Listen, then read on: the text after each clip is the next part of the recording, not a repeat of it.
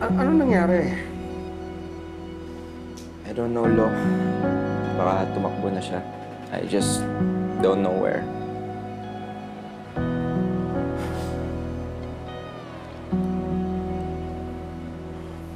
Sab!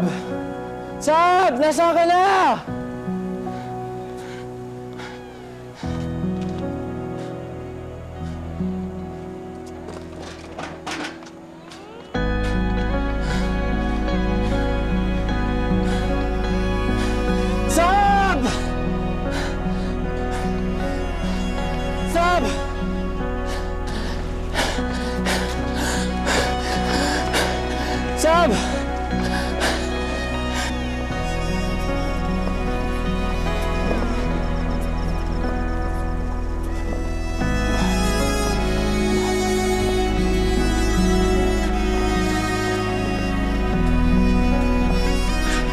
Sab!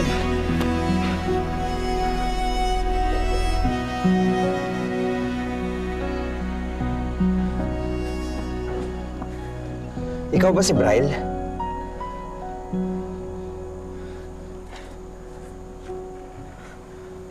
Eight months kami ni Sab bago kami nagkalabuan.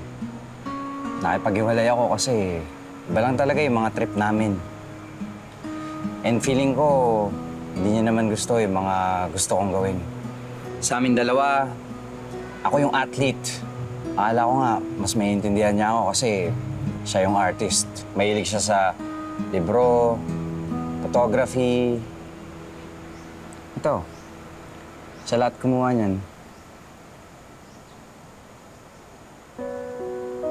And pakiramdam ko ang selfish ko pero hindi niya kasi kayang sabayan yung mga ginagawa ko. Tapos isang araw, nakita ko siya nag-post ng picture.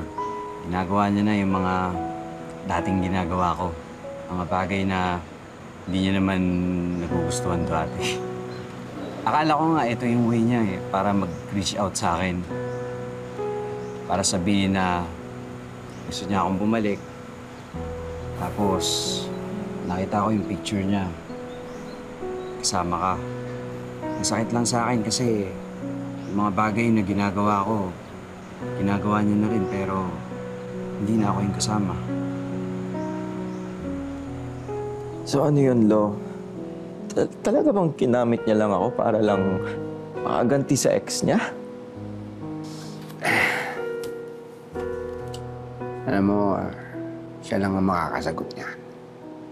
Pag nagkita kayo at nagkausap kayo, pero Bryle, ah, hindi ibig sabihin na nawala siya sa iyo eh. Ibig sabihin, nawala na rin yung lahat ng mga magagandang naiwan niya para sa iyo. Ha? Keep on running. Layo pa mararating mo. Ha?